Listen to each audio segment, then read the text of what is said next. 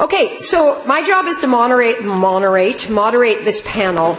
Um, and the reason we're having this panel is that, uh, you know, you were listening all morning to, to Jean, to the other panel. One of the things that we have to think about when we're thinking about what are we doing in our schools is how can we tell people about what we're doing in our schools? And part of how we tell people is through assessment and measurement. And that's why we have these fabulous experts here uh, to talk about this. These things are in the news a lot. We often see them as kind of, you're a kind of either or person to do with how we often think measurement, that means testing, the end, I either hate it or I love it. But it's really, really important that we have deeper conversations than that about using data about understanding all of the downsides of measurement and assessment and all of the, uh, the ways in which they actually help us understand what we're doing. So that's why we have these fabulous people up here to have this conversation. We hope they're going to disagree with each other. We hope that we're going to debate some things, but we also hope we can get at the sort of deeper issues to do with measurement and assessment. Um, I think I, am going to introduce you all at once so I don't have to keep getting up because I'm so old and I ate all those sandwiches. Um, and how we're sort of going, the movement of this is from um, big, big, big picture uh, towards the classroom. And I won't say down because it, there's not a hierarchy here in terms of importance. So Sam Sellar, who's right here on my, this is my learning challenge, right, this is my right, your left. Yes, I can't tell right from left. Oh well. Um, I, I, we've known Sam for quite a while, and we really, really love him um, because he's very smart and he's from Australia.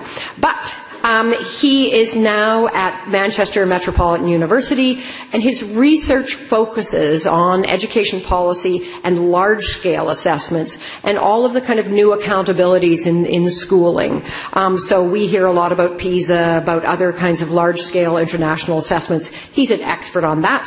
He is working with a team of colleagues on an international study of data infrastructure in schools and school systems in Australia, uh, the US, Canada, and Japan. Um, he also works closely with teachers' associations that we met him through the Alberta Teachers Association, I think, who we love, around the world to employ, uh, explore the impacts of uh, data, datafication. Um, he has written a really great book uh, called The Global Education Race, Taking the Measure of PISA and International Testing.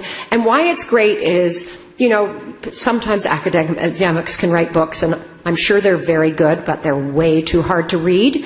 Um, and I don't mean that in a, it's just like they're, they're very inside themselves. Sam's book is eminently readable. It's incredibly important. Um, and I'm sorry that we don't have copies here. So that's Sam. Um, Norah Marsh, um, in the middle here, is the newly appointed head of the EQAO. Um, and her, she's going to explain where she was before, but her, she's there to lead the EQAO's modernization process. modernization can mean so many things. Um, she is a passionate advocate for public education. We first met her through the Limestone Board, where she was looking at uh, streaming. Um, she's worked. Um, with Ontario's education community to strengthen student achievement at the school, school board, and provincial levels. Um, she's had lots of senior leadership in two boards, Limestone and the Ottawa Carleton Board, um, and at several provincial level education associations. Um, it says in her bio she's dedicated her career to creating growth opportunities and, and inclusive learning environments for students.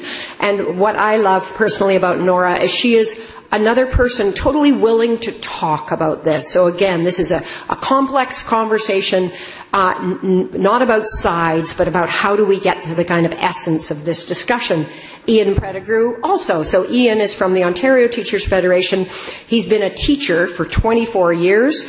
Um, he started with the OTF, the Ontario Teachers Federation, in 2013 as the Director of Curriculum and Assessment. Um, and among his many responsibilities there, um, he liaises with various stakeholders to address assessment and curriculum policies and practices. And before before that, he was a department head, a resource teacher, an instructional coordinator um, in the Peel District School, School Board, and the president of uh, the of a provincial uh, subject association. So Ian brings this vital voice um, from not just the Ontario Teachers Federation itself, but also from teachers about how are we thinking about um, and talking about assessment, both and then assessment in terms of what it means inside of classroom, but also then the impact of uh, large-scale measurement that sometimes can happen in terms of how teachers approach this. So they're each going to talk for hopefully seven minutes. Um, and then we're going to have a discussion after that. So I'm going to turn it over to Sam first.